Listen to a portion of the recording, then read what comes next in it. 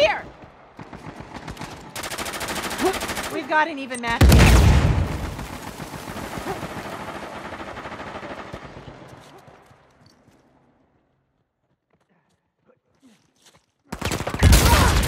Oh shit!